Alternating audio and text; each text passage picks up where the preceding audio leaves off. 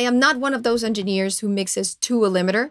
I really can't do that. I understand a lot of my colleagues work like that and it's amazing how they do it but I, I i come from a different school where i learned how to get really loud before i actually drop a limiter so i have this amazing plugin in here which is my true peak limiter which works amazingly well and and i'll have this at loud at minus eight so that this is the plugin that i'll be using for the reference that i'll be sending and sharing with my clients and then just to watch that i'm getting super loud but then i'll change the parameters so i'm a little bit softer on that for when I'm sending to the mastering engineer. But the options in this one are amazing. The how you can do the tone control, how you can add that extra whatever sorcery happens on the XL algorithm from the entire Brainworx line, which is great. But I won't mix to that. I'll keep it off.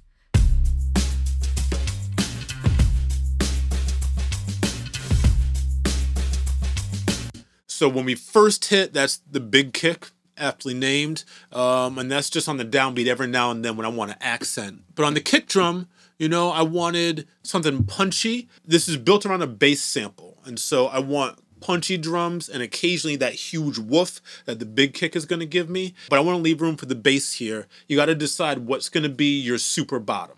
Is it going to be a drum? Is it going to be a kick drum? Is it going to be your bass?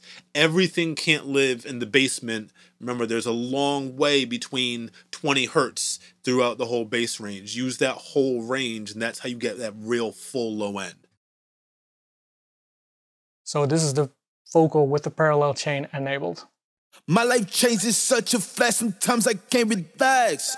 When shit out of pocket, I just jump back in my bag. My life changes such a flash, sometimes I can't relax. When shit out of pocket, I just jump back in my bag.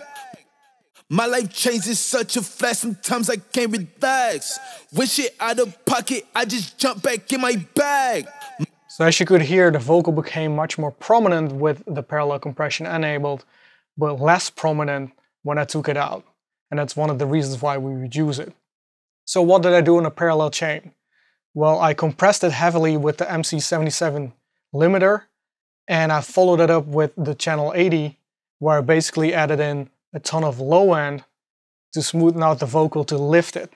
So that's why we use parallel compression for this instance.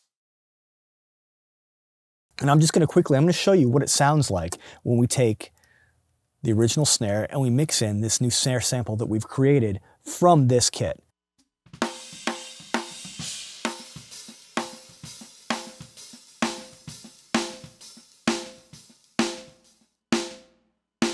So as you can see, we can go from fully sample, and again, sample of the same drum, but we've mixed out all the bleed all the way to the original and everything in between.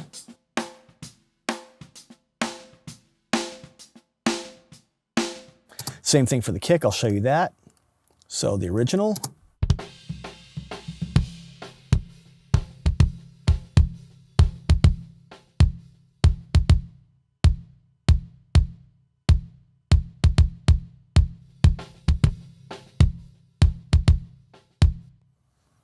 and then the final result.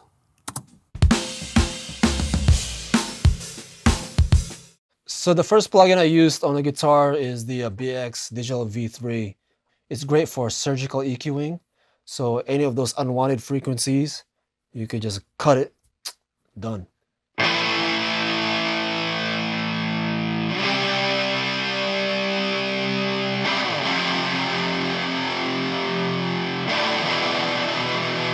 So if you notice, it got rid of a lot of that unwanted frequency. I'm gonna solo that band so you could actually hear what I'm talking about. So around 3K, you could hear that certain frequency that's just sticking out that I didn't want to be there. As well as 5K, that, that piercing frequency I didn't want that to uh, be there as well, so I, I just cut that out using this EQ.